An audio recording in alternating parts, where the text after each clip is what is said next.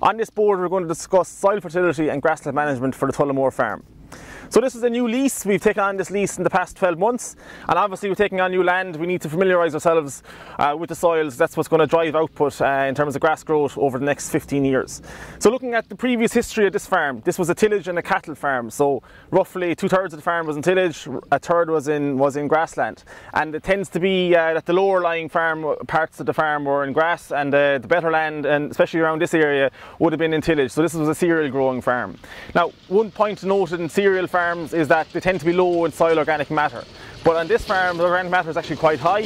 You know, it's tribute to the previous owners that it was it was reasonably well farmed, and the um, and uh, and because it was cattle on the farm, there was always nutrients going back on in terms of organic matter. So the soil organic matter is quite good in comparison to let's say the Greenfield farm in Kilkenny, which was in tillage for 50 years, and soil organic matters were quite low. Even though P's and K levels are quite high, it did take a number of years for that to build up in terms of uh, in in terms of uh, driving on grass growth. But on this farm, uh, we're in a fortunate position that soil organic matter is good, and that's, and also uh, to be fair, the soil fertility is also good. So looking at the board, we have have um, in terms of phosphorus. So we soil sampled last uh, last Christmas, and 46% of the farm is at index one and two. So 54% is at index three and four, and the majority of that is actually at index four. So half the farm is is on target, and half the farm is below target. Uh, so we're going to obviously target to, to increase the, the, P level on the half the farm that's low through targeting slurry and then chemical uh, chemical P applications. Looking towards potash, 88% of the farm is at index 1 and 2, with the remainder at index 3. So none of the farm is at index 3 for K, and, and the majority of it, like almost 90%, is, is deficient in K. Uh, so K is an easier nutrient, I suppose, to build up than than, than phosphorus. So that's uh, if you were to be low in one, I prefer to be low in K than low in than low in P. So we'll be targeting a lot more slurry and uh, and a lot more chemical chemical K on the on, on this farm. So we'll probably go with around a muriate of potash towards uh, next month or the month after. There's no limitations on when we can spread K. We can spread it all year round. It's it's not a it's not a risk to the environment. So and there's no nitrates limitations on, on the amount of K we can spread either. So that's that's a positive, I suppose, in terms of uh, easier to build up K than it is build up P. Uh, and we obviously we're going to be limited in terms of nitrates directive and what we can spread in, in P. So that's going to be a slower build up, but we can achieve that by uh, regular soil sampling. So soil sampling every year, making sure that we're targeting our, our chemical P applications where it's needed.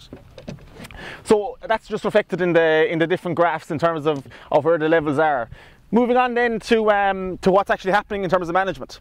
So the farm is uh, here is spreading is spreading fertilizer himself every couple of weeks uh, after grazing. He, he, usually spreads once a week after grazing. Um, so far this year, there's 135 kilograms of nitrogen spread per hectare, 10 kilos of, of phosphorus spread to date, and 37 kilos of potash spread to date. He's just after going out with a round of 18 6 12. He plans to spread another round of that later in the year, and probably two more rounds of nitrogen uh, before the close period in the middle of September. So we've about six weeks left where you can spread fertilizer. And that's going to, you know, we're going to soil sample again at the end of this year and see where we are in terms of in terms of P's and K levels, and that will determine it. Um, one nutrient or one element that we didn't look at was was um, acidity. So soil acidity or pH. We're an awfully traditionally high in high in uh, pH. So the farm average here is 6.9, which is above our target. Our target is 6.3. So most of the farm does not need any any uh, any lime. Two fields were low in lime at pH of 5.9, so they've been spread. And um, when the farm was all the land that was reseeded also got lime. So at reseeding time, so we're actually you know we've not not an issue with, with regards to lime. Moving on then to, to reseeding. So at this stage, most of the farm has been reseeded. We've actually uh, exceeded our expectations in what we could have could have reseeded. Um, some of that was done at the back end of last year, but most of it was done this year. And when you include the land that's in Kale here behind me, you know that there's a high proportion of the farm will be reseeded. And there's more land over at the home farm that's just to be that's been sprayed off and ready to be ready to be ploughed. So most of the farm was sown with a 50-50 mix of Abergain and Aber Choice, which Abergain is a tetraploid and Aber Choice is a diploid.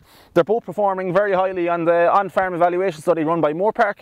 You know, they're good varieties, they've been well proven, that's why we use them.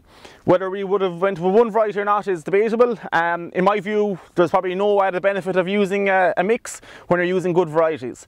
The issue, I suppose, on a lot of farms is there's mixes going in. Some of the varieties are good, some of the varieties are inferior. You know, it's reducing the quality of the overall sward. So I'd say, you know, go monocultures or go one or two really good varieties, and also include clover. So we've clover included in, in all the swards here in in Tullamore. We've uh, we've about 40 different paddocks set up around the farm, so it's a considerable investment in in, uh, in, in fencing and paddock access. And to get the maximum gain out of that, we need to move animals regularly. So cows are moved, cows and calves are moved every every 12 uh, 12 hours or 24 hours, depending on the size of the paddock and the amount of grass that's in it.